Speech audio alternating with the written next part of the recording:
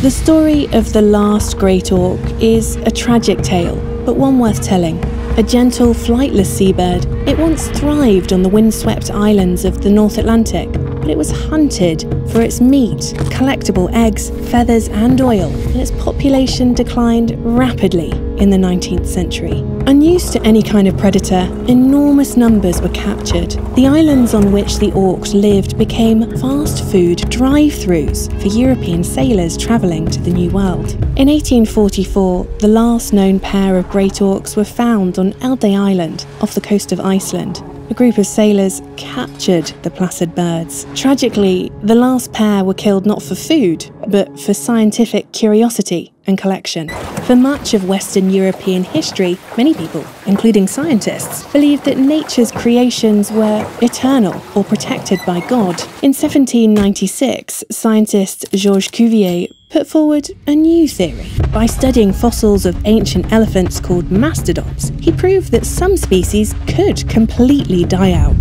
Cuvier thought natural disasters had killed the mastodons, but it wasn't until humans hunted the great auk to extinction around 50 years later that people realised that human action could directly cause a species extinction and forever reshape the natural world.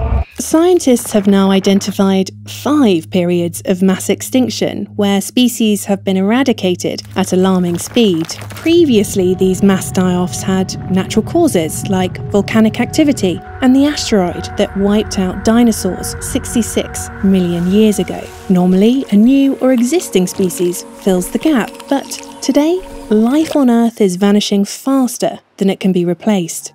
Intensive farming has transformed the planet. The burning of fossil fuels has caused catastrophic climate change, and sprawling cities have paved over habitats.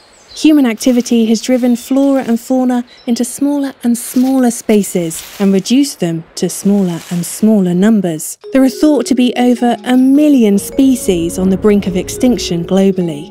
Take the humble hedgehog expanding cities and shrinking hedgerows, toxic pesticides, and busy roads are driving our prickly friends to the brink.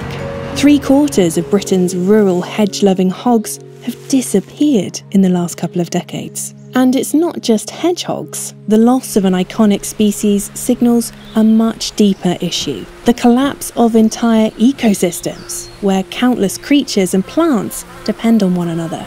These ecosystems are vital to our survival, providing the pollination of our food, cleaning our air and water, and protecting us from floods and droughts. Since we are the cause of this sixth mass extinction, we can also be the solution. In 2022, nations across the world agreed to reverse biodiversity loss and protect 30% of our planet by the end of the decade.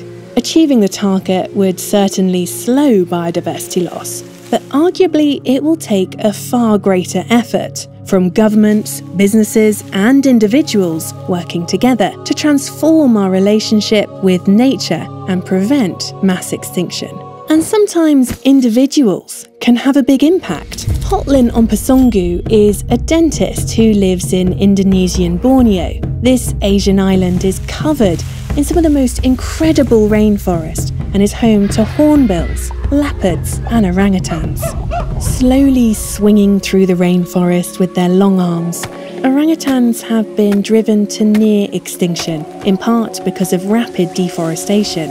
Hotlin knew that poor health and poverty incentivized local people to chop trees to pay for treatment. So, Hotlin offered discounted dentistry to anyone who didn't cut down the forest. If anyone couldn't afford treatment, they could plant native trees or learn how to earn an income from organic farming. Since she started in 2011, over 100,000 trees have been planted and illegal logging in her area has been significantly reduced, improving and protecting the orangutan's habitat. These charismatic creatures are now beginning to come back in numbers, thanks in part to Hotlin. Extinction isn't just about far off, exotic creatures, it's happening in our backyards too.